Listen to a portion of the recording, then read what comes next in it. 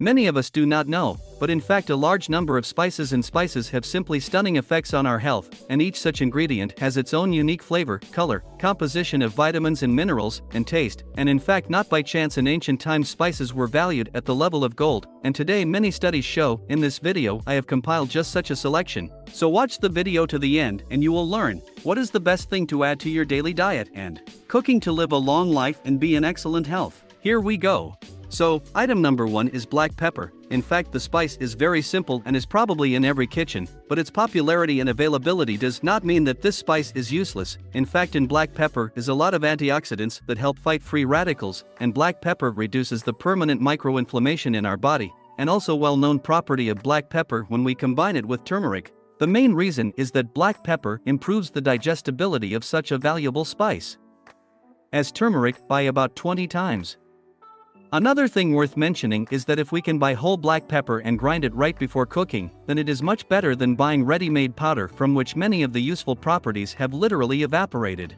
The next point that quite logically follows from the previous one is turmeric. In fact, turmeric is a definite trend in the scientific world, because now researchers rushed to study its effect, and there are many interesting, very interesting details on the effects of turmeric on our body, so it has been proven that turmeric helps to prevent a huge number of diseases, it also reduces the same permanent microinflammation in the body, which is the main cause of aging and the formation of chronic diseases. Turmeric is very good for the immune health of the nervous system, improves our cognitive abilities, that is, the thinking intellectual, Moving on, the next item is ginger. Ginger is very good for our metabolism and contains a lot of vitamins such as vitamin A, B vitamins, as well as minerals, phosphorus, iron, magnesium, calcium, zinc, potassium, and others. You can use ginger in different ways. The easiest and most undesirable is in the form of grated ready made powder from the supermarket. The best is, of course, as fresh as possible. Say, as an option, it can be added to cooking. Based on ginger, can even be made ginger drink.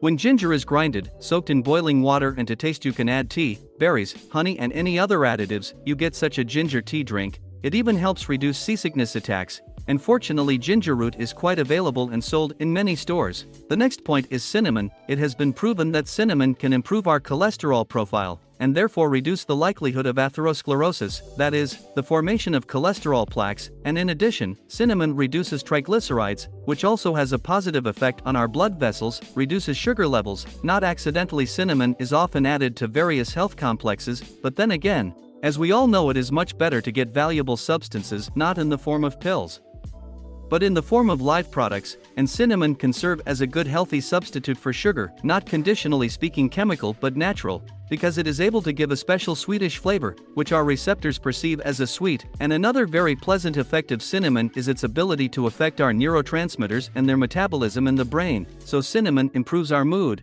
affecting dopamine receptors, so it is no wonder that it is so loved in the coffee in the morning. Moving on, the next item is cloves. Cloves have a fairly pronounced and distinctive flavor, it is very often used in cooking, but in this video we are interested in its properties that it has on our body. So first cloves have a very good effect on our nervous system, as acts as a mild sedative, helps to restore the nervous system. Cloves also improve blood circulation and help with colds, as they clean our mucous membranes and help fight coughs, and cloves also have antiparasitic properties.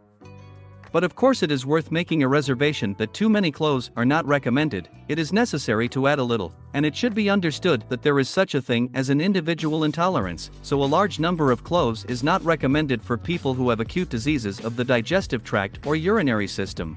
Going further, paprika, the substances contained in this spice can serve as a cancer prevention. Also, paprika helps to diffuse the blood and reduce the likelihood of blood clots. A moderate amount of paprika has a positive effect on the gastrointestinal tract, it is the only way to get the most out of it, because if we pour too much of it, it can already serve as an irritant, that is, you need measure and common sense in everything, and paprika may also be of interest to smokers because it contains a substance like beta-cryptoxanthin, and it helps to neutralize a whole range of negative effects of tobacco, and paprika will also be of interest to men because it is a potency enhancer.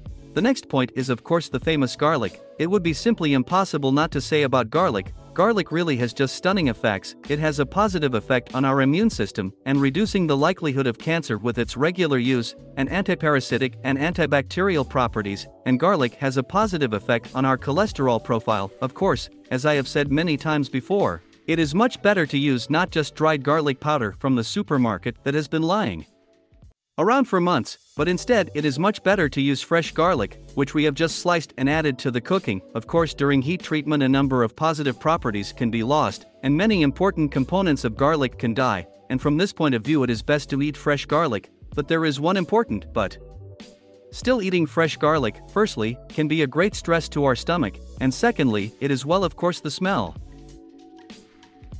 If we live alone and no one to complain, then no problem. And if we live with someone, the regular eating of garlic can worsen the atmosphere in the house, let's say, so perhaps the best way is to take fresh garlic but add it to the cooking, meat, vegetables, etc. By the way, friends, write in the comments and you write what spices and seasonings used, something from this list or maybe something else can recommend. Tell me would be interesting, and that's all, see you soon, friends.